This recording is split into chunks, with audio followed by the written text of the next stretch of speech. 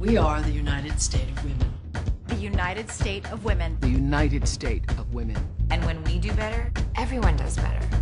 You with us? Then listen up. When we work, we get paid. The same as everyone else. Doing the same job. We will be the boss of a company. Of our company. Of a whole empire. Sounds good, right? We, we, we, we are the United State of Women. Somos el Estado Unido de la Mujer. We are in charge of our own bodies. Every beautiful part. Every powerful part. Every which way we want to use them. It's our choice when to say yes and when to say no. Because duh. Literally duh.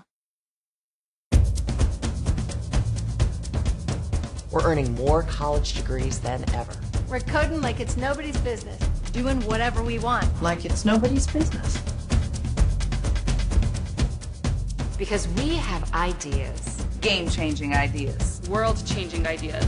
This is our movement. Turning struggle into strength. We're not done. We're definitely not done. So when we stand, stand with us. We are the United State of Women. The United State of Women. And we stand stronger when we stand together. Today, we'll change tomorrow. Together, we got this. We got this.